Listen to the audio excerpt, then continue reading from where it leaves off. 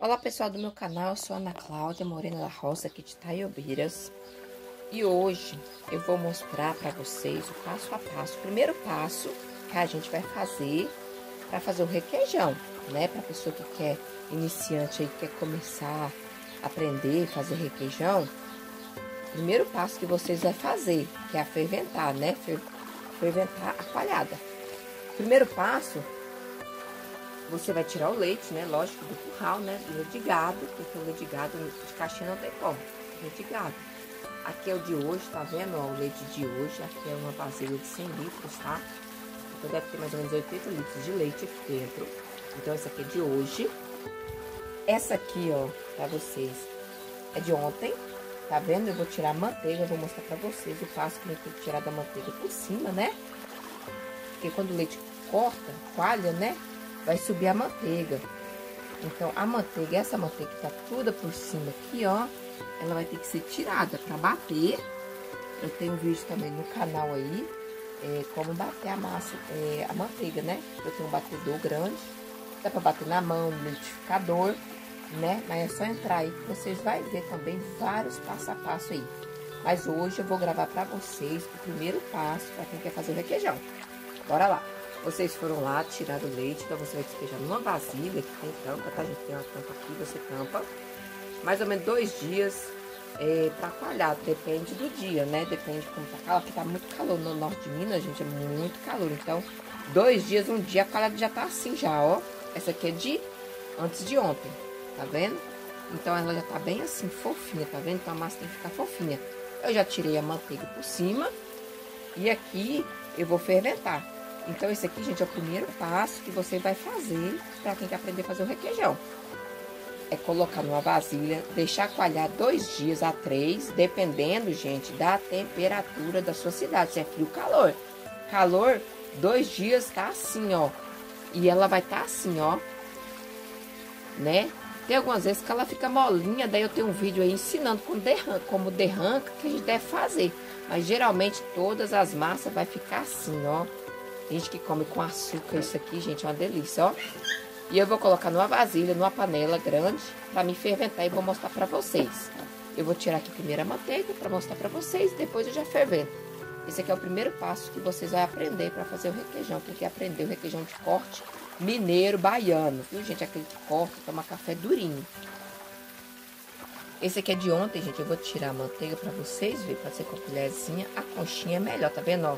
Isso aqui tudo é manteiga, ó que a manteiga, pouquinho pra cá, isso, que a manteiga vai precisar, gente, para amassar o requeijão, que a gente massa com a manteiga. Então, você tem que bater a manteiga e guardar, né, a manteiga. Então, essa manteiga aqui, ó, ela fica bem grossa. Eu gosto de pôr no congelador, é, para ficar bem durinha, né? E eu vou tirar toda a manteiga aqui por cima, tá vendo essa partinha toda amarelinha? Então, a gente vai tirar tem alguns leites que dá bastante, outros dá pouco, né?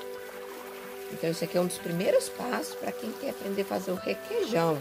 Algumas pessoas pediram no meu canal, gente, é, lá na receita do queijo, que eu tenho do queijo, algumas pessoas é, falou que quer aprender a fazer requeijão, né? Então, vamos lá. É bom sempre começar em quantidades menores, né, gente? Porque talvez dá um errinho, né? Mas pra gente consumir, comer com a família, né, primeiro. Depois você vai pegando o jeito, aprendendo, dá para você vender.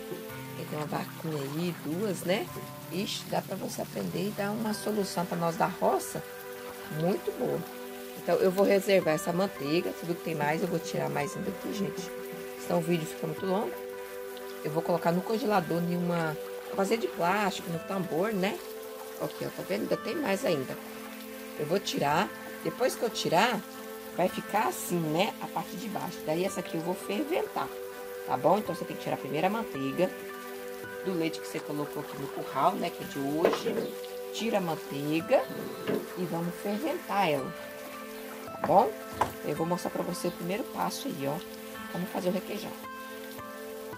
Então, gente, eu guardo a manteiga porque você vai tirar de todos os dias, né? Que você vai ferventar a, a coalhada você vai o que? Você vai guardar, porque se você for, todo dia que você bater um pinguim, se for bater, só se for na mão no litro, né? Tudo bem. Mas é melhor você juntar, né? Se for pouca quantidade. Agora, quando é muito, você pode bater duas vezes. Mas eu bato no meu... A gente fez aqui com o motor de tanquinho. Então dá pra bater bastante, sabe? Uma vasilha de 20 litros, mais ou menos. 30 de manteiga, né? Então é bom você guardar na geladeira, viu? Então aqui tá coalhada, tá vendo, gente? A coalhada durinha. Daí você vai colocar na vasilha, né? Pra você ferventar. Tá vendo? Você vai ferventar com soro e tudo junto, ó. Tá vendo? Esse aqui é um dos primeiros passos para você que quer fazer o requeijão, gente, ó. E aqui não tem enrolação não, viu, gente? Os meus vídeos tudo eu ensino certinho para quem quer aprender. Né? Porque não adianta a gente ficar enrolando, enrolando e mostrando coisa errada, não. Então, aqui eu ensino certinho, gente. Vamos lá, agora eu vou colocar ali no fogo para ferventar. Agora eu coloquei aqui no fogo a lenha, gente, ó. Um pouquinho escuro que é a minha cozinha, né? Na área lá tava mais claro, aqui tá mais escuro porque a cozinha é meio fechada no fogão aqui. Então, tá aqui, ó, no fogo né? Ela fica toda quebradinha assim, gente, é bom ficar quebradinha assim. E você vai colocar, ó, no fogão gente, da roça que a gente usa no fogão a lenha. Então, eu vou colocar aqui no fogão a lenha e esperar ela dar uma esquentada bem... Não ferver, ferver, ferver muito, borbulhar não, gente.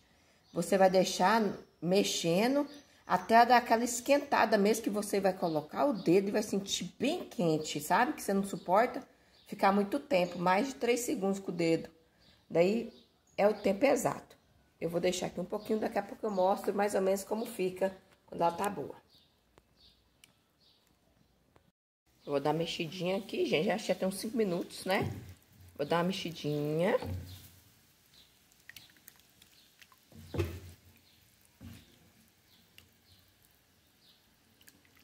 Ainda tá bem, ainda... Deixa eu... Tá morninha a água, ainda vou deixar mais um pouquinho ainda pra esquentar ainda. Deixar mais um pouco ainda, que tá bem morninha. Agora eu vou olhar aqui pra ver como que tá, né? Eu já... Tem uns 10 minutinhos, gente, que tá aqui. Como é bastante quantidade, então demora um pouco de, de ferventar, né? Se for pouca quantidade, então rapidinho. Ó, ela tem que quebrar todinha assim, ó. Que daí fica melhor pra ferventar, ó. Fala ferventar, mas não é ferventar assim de, de, de borbulhar muito tempo, sabe? A água tá bem quentinha, tá vendo? Bem quentinha, quentinha. Que ela tem que tirar um pouco do soro, né? Porque não pode ficar soro na massa. É o soro que faz derrancar, é o soro que faz errar a massa, gente. Então, o primeiro passo que você vai fazer é isso aqui, ó. Tá coalhada, você vai, né, passar ela na água quente, né? No soro mesmo que tá lá, né, gente? No soro. Então, é, todo mundo fala ferventar. Mas você não vai deixar ferventar, borbulhar muito tempo. Então, aqui tá bem quente, ó. Bem quentinho, tá vendo? Você põe assim, ó. Fica o dedo, você sente bem quente, bem quente, ó. Daí, ó, tá vendo? Já não aguentei ficar. Então, aqui tá bom. Daí, eu, eu tô com a bacia aqui, ó, gente, que 30 litros, né? É legal uma coisa maior. Esse pano aqui é volta ao mundo. Se você não tiver esse pano aqui, já tem muito tempo que eu estou usando, tá vendo? Ele é bem bonzinho. Ele estica, você pode usar aquele saco de linhagem que a gente consegue comprar é, goma, quem gosta de comprar goma, é, saquinho de arroz, sabe? Daí dá pra usar. Eu até tenho ali um, um fermentado, vou mostrar pra vocês. Ferventei, tá vendo? Eu coloquei no saquinho de, de, de, de goma, tá vendo? Esse aqui, ó. Então, esse aqui que eu ferventei, tá vendo? Então, esse aqui também dá certo, gente. Agora eu vou tirar a minha coalhada, colocar aqui, ó, todinha ela aqui. Então, você vai fazer esse processo, gente, com todo o seu leite. Hoje eu vou ferventar o de... Hoje é segunda-feira, então esse aqui foi o leite de sábado. Vou ferventar o de sábado, amanhã eu fervento domingo e depois de amanhã eu fervento de segunda. Porque o leite de amanhã e, e depois eu faço o queijo. Então, eu deixo três dias para fazer requeijão três a quatro dias para fazer requeijão, o outro eu deixo para fazer o queijo. E um dia eu deixo para amassar, que também tem um leite de massar que você tem que deixar. Igual eu faço quinta, o leite de quinta-feira, uma parte, é para cozinhar a massa do requeijão. Então, eu vou estar tá explicando para vocês nos meus vídeos aqui no meu canal, gente, de novo, colocando é, mais detalhado, né? Que muita gente está procurando e tá gostando dos meus vídeos, né? Então, eu vou estar tá fazendo é, para as pessoas que querem estar tá se interessando, né? De aprender. Então, o que eu puder ensinar, gente, eu vou ensinar. Então, isso aqui eu vou fazer com todo o processo, todos, eu vou pendurar. E assim, gente, eu aprendi com a minha sogra, é, o, o pai do meu sogro também fazia requeijão. Então, isso aqui, gente, é de família. Eu não fiz curso nenhum de queijo, requeijão, gente. Eu aprendi assim, vendo, ensinando, né? O pessoal que todo mundo faz da, da, da família do meu esposo. Então, eu acabei aprendendo. Então, o que, que eu tô ensinando para vocês são coisas que eu aprendi assim, com o pessoal aqui, gente. Eu não tenho curso, tá? Quem tiver alguma coisa também que queira falar no meu canal aqui, né, que tem mais condição de estudo, pode estar tá comentando, né? Igual no meu queijo, muito bastante gente comenta. Pessoas que já fizeram curso e tudo. Então, é bem bacana a gente é, interagir, né? Isso aí. É um aprendendo com o outro. Vou jogar um pouquinho aqui, ó, pra poder soltar o restinho que ficou na minha panela, né? Isso aí, gente. Ó, quem, querer, quem tiver alguma dúvida, querer perguntar, gostou, né? Comenta aí se gostou, né? Então, esse aqui vai ser o primeiro passo. Eu vou estender ele ali e já mostro pra vocês. Aqui, eu coloquei pra escorrer, tá vendo? Tem algumas coisinhas que é meio difícil, gente, porque com a mão só pra filmar e mostrar é um pouquinho complicado, mas, né? Deixa eu mostrar pra vocês a massa lá, tá vendo, ó? Tá vendo? Eu dou uma balançada assim, ó. Várias vezes, né, ó. Tá vendo? Pra dar uma escorrida, movimentar ela. Porque ela precisa sair todo o soro. Tá vendo como que ela tá bonita, ó, quebrando? Então, ela precisa sair todo o soro. Então, eu vou deixar aqui até amanhã, assim, e mexendo um pouco, porque tem que sair todo o soro, gente. Todo o soro precisa sair, porque se tiver soro, não dá... É, é ó, pra você ver já como que já tá, ó. Bem durinha, tá vendo, ó? Ó, bem durinha na mão, bonitinha. Então, isso aqui, ó, ela vai dar um, um requeijão bem bom, gente, ó. Ficar bem bacana. Eu vou tirar essa do saco e vou mostrar pra vocês como ela tá. Essa que eu ferventei mais cedo. Aqui, gente, isso aqui é o que tava no, no saco lá de linhagem, que eu mostrei pra vocês, que vocês podem ter duas opções. Pra quem não pode estar tá quem mora na roça sabe que no, a cidade é meio longe para comprar as coisas, então a gente tem que. É, é, o que tem a gente tem que estar tá usando, né, gente? Assim, improvisando, como diz a palavra, improvisar. Então eu improvisei esse aqui no saco de linhagem lá de arroz, de goma, né? Que a gente lava bem lavadinho. Aqui, ó. Daí você tem que espinicar todinha ela, quebrar ela todinha assim na mão, ó. Pode espinicar bem espinicadinha. Tá vendo que ela tá bem sequinha, ela não tem soro, ó. Não pode ter soro, gente, que é o maior erro das pessoas deixar soro na massa. Não deixe soro, tanto no cozimento, tanto na ferventada, não pode ter soro, ó. Então, ela tá aqui. Daí eu gosto de guardar no freezer, né? Refrigerar um pouco ela, porque vou ferventar hoje, amanhã, depois até quinta-feira, hoje é segunda, até quinta-feira, tem terça, quarta, quinta. Três dias, né? Então, três, quatro dias ela vai ficar fora de geladeira, ela vai azedar. Ela vai azedar e vai ficar um requeijão azedo horrível. Então, o que, que eu faço? Ferventei aqui, o que, que eu faço? Eu já vou guardar. Já vou guardar na geladeira, refrigerar no congelador. Daí eu tiro na quinta cedo. Ou quarta noite. Se ela tiver empedrada, eu tiro quarta noite. Para me cozinhar ele na quinta. Então, esse aqui é o primeiro processo, gente. Então, o primeiro processo que a gente vai fazer. Então, aqui eu ensinei para vocês o primeiro processo, né? Que é ferventar a coalhada, bem ferventadinha, tá aqui, ó, escorrendo, né? Vou mexer, porque vai, tá vendo que vai subir no sorinho aqui em cima, ó, tá vendo o sorinho lá, gente, ó? Então, vou mexer pra sair todo esse excesso. Esse soro aqui, gente, a gente reutiliza pra dar pros porcos, tá?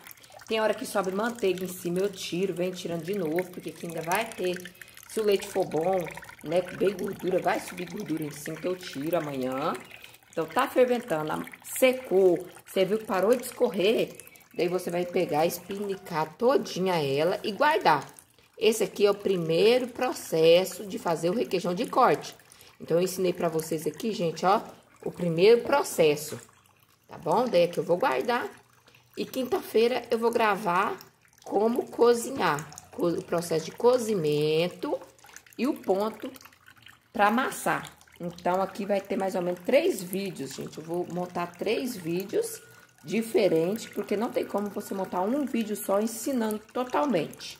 Então, vai ser de três a quatro vídeos, porque tem também a manteiga, que eu vou ter que fazer um para bater a manteiga e fritar a manteiga. Então, esse aqui é o primeiro vídeo meu do processo como fazer o requeijão de corte.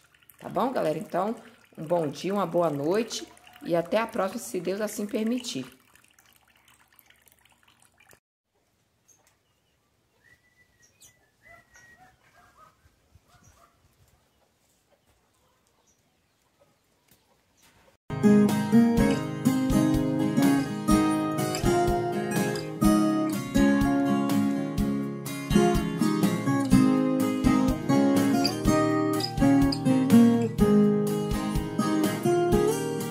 Sou um privilegiado, aqui nada me angustia. Tenho a noite de descanso quando o dia silencia. Um amanhecer no campo, transbordante de alegria quando encontra a natureza trabalhando em harmonia. Vem o sol com seu dourado produzindo a alquimia. No orvalho refletido, sua luz faz a magia. Ao quebrar esse silêncio, muitos cantos se anunciam. Passarinho abre o canto, logo, logo outro plagia.